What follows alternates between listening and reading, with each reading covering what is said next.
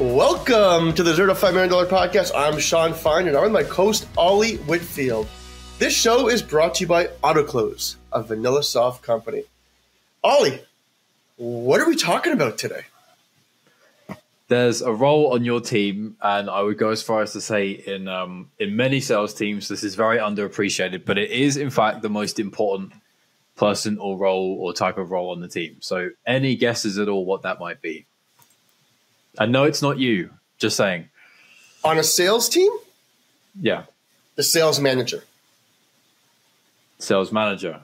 We- We nearly got there. I was about to say it's the sales admin, the sales ops person, but I guess they work pretty close with that person, and sometimes that person actually does some of that work.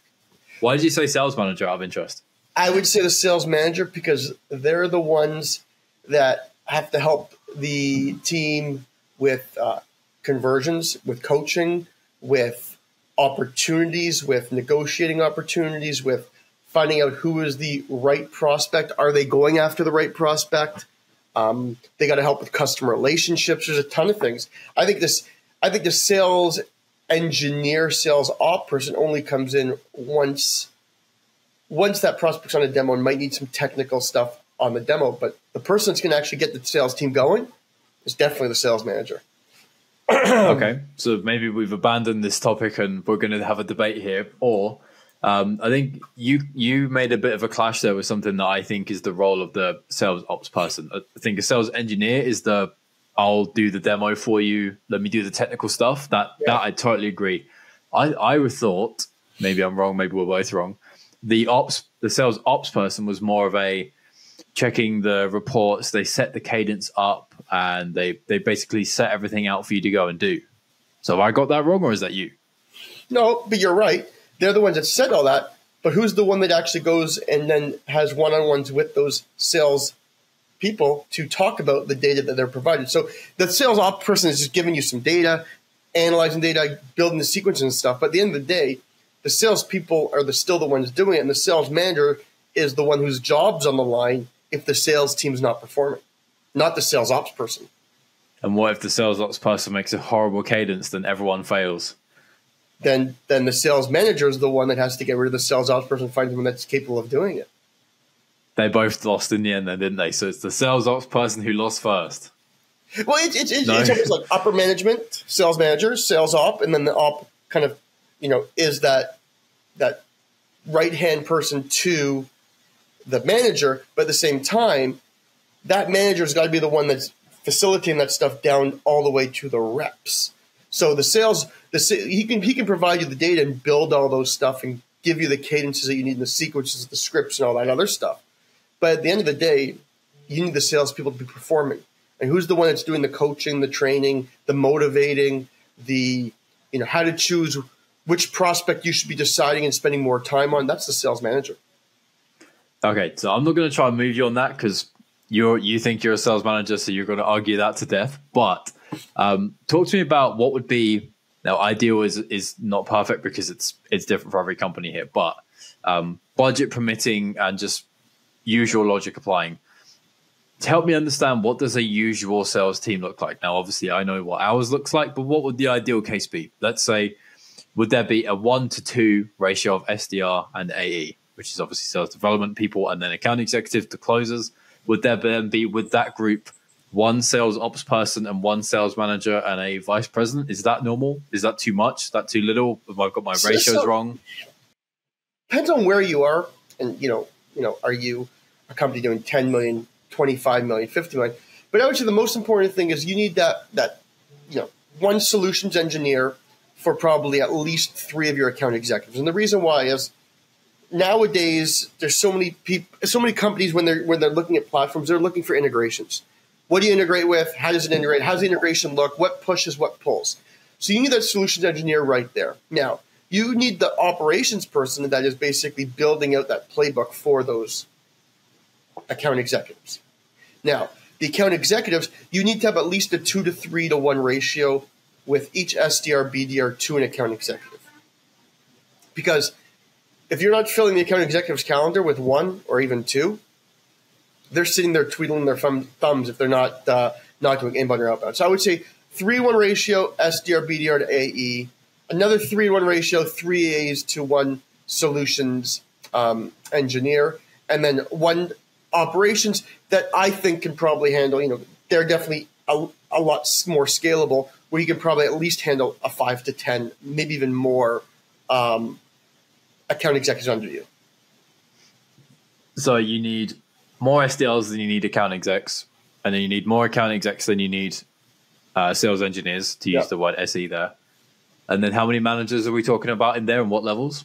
And I would then I would then say you need you need less solutions engine solution op- operators than you do an engineers or AEs. So it's kind of like almost like a pyramid. Yeah. Yeah.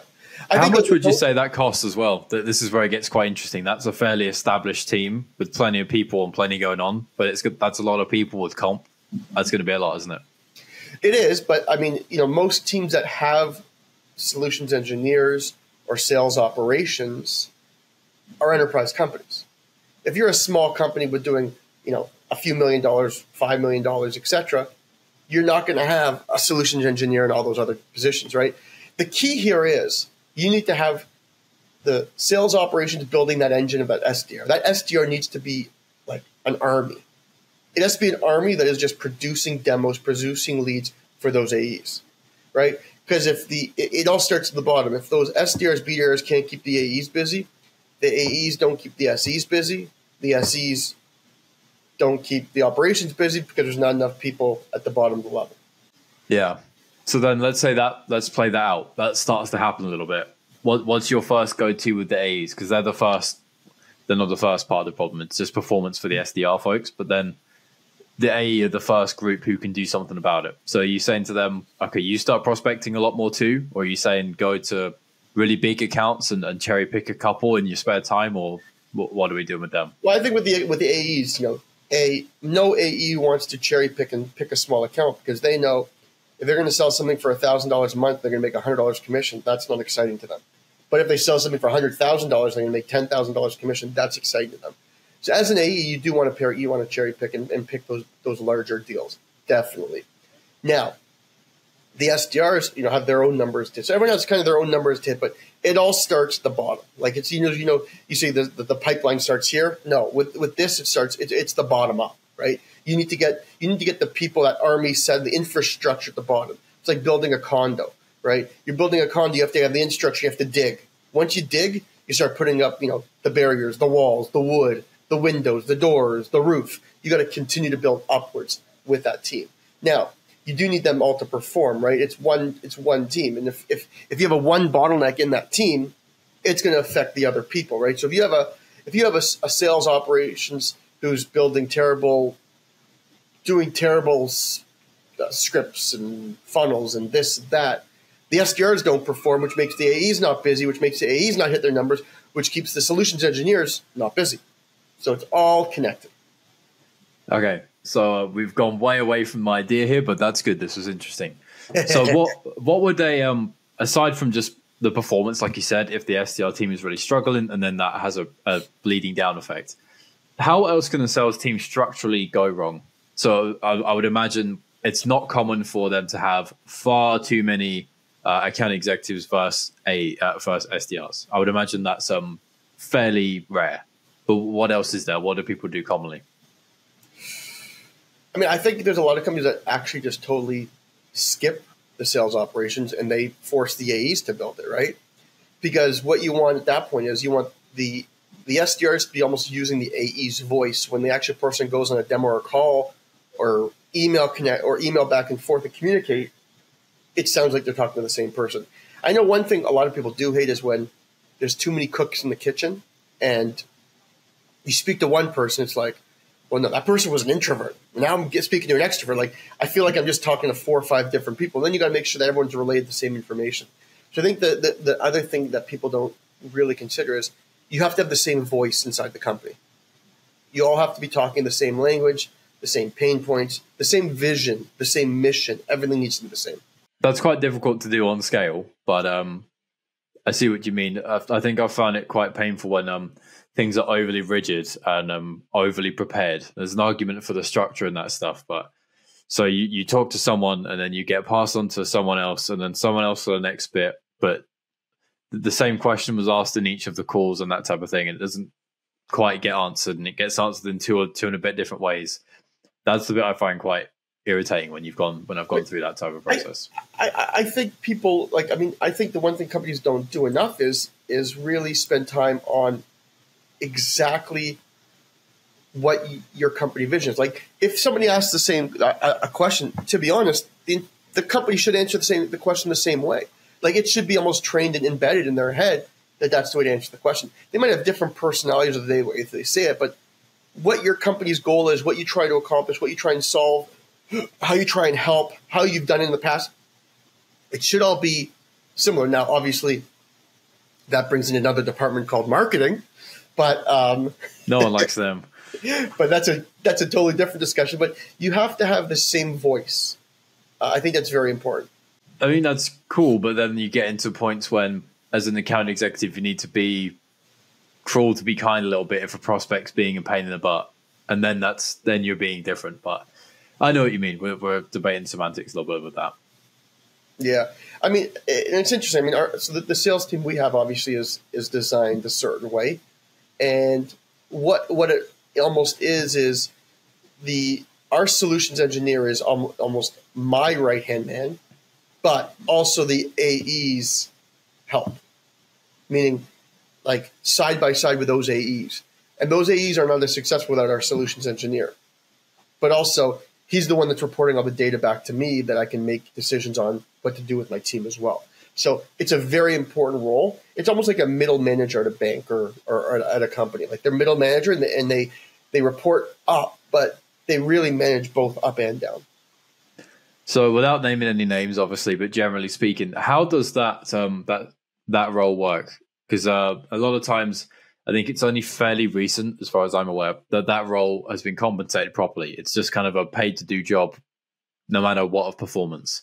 But now you can see with obviously things like Salesforce and so on, that SE performed this well and the next one didn't so much and the other one was way better than both of them and then you make comp but there's an argument about how much are you truly involved you, are facilitating the demo which is like one of the last things that happen and there's got to be so many other things that line up beyond just the product itself so how how does that work because that's complicated it's, isn't it it's very interesting so I, I think the way certain companies use a SE is very different meaning it all depends on the experience of your salesperson right and what they need.